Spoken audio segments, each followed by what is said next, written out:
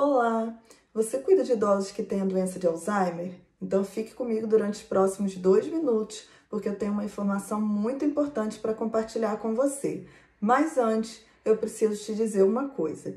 Muitos cuidadores de idosos que têm a doença de Alzheimer, sejam esses cuidadores profissionais ou familiares, acreditam que é normal vivenciar o estresse, a depressão, a ansiedade, a angústia e o desespero diante dos desafios do dia a dia. Porém, isso acontece porque você não foi treinado, não foi orientado e não foi capacitado para cuidar de um idoso que tem essa doença. Logo, por mais que você tenha amor, tenha carinho, tenha boa vontade, a sua rotina tende a ser muito exaustiva. Mas essa situação pode mudar, porque eu vou te ajudar.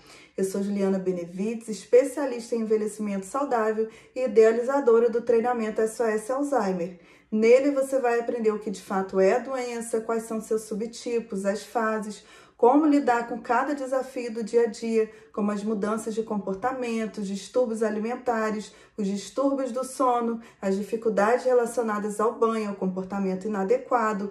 Também vou te ensinar sobre os medicamentos, quais são as indicações, contraindicações, efeitos colaterais e as estratégias comprovadas cientificamente para você diminuir de forma drástica as suas chances de desenvolver essa doença. Mas eu só estou oferecendo 10 vagas para esse treinamento. Portanto, é importante que você clique nesse link agora, faça sua inscrição e assim melhore a sua qualidade de vida e também a qualidade de vida do idoso. Portanto, eu espero você lá dentro do treinamento. Se inscreva agora e aproveite todos os bônus que eu estou oferecendo para quem se inscrever nos próximos sete dias. Um forte abraço e até lá!